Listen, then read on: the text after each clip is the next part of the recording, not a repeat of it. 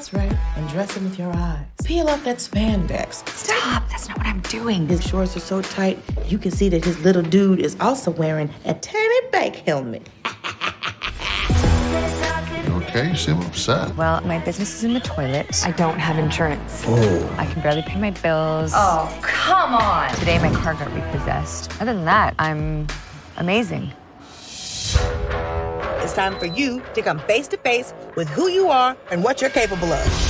What is this place? The answer to all your problems. Ta da! What the?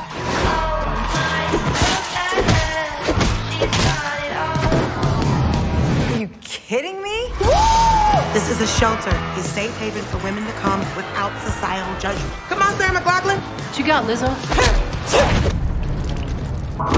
You're up next, Rocky. Are gonna tap out? Tap out me. Guessing I lost, huh? Yeah, but at least you fought. You took a lot of courage. It would take a miracle worker to help me. I think I know just the guy. That's who you want to train me? Mm-hmm.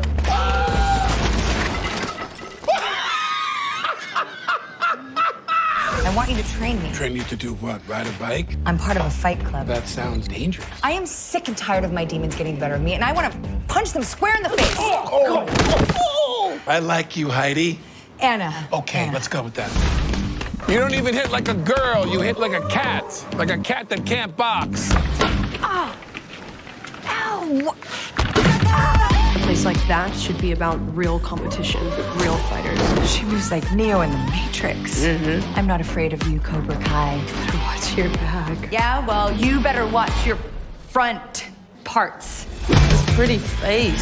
You're gonna lose it. She's been holding back. I'll see you in here tomorrow night. Heads up. Let's go. Walk away, Mom Jean. These are tight. That's it. And then we'll hit the bag. You ready to leave? This is crazy. Mm-hmm.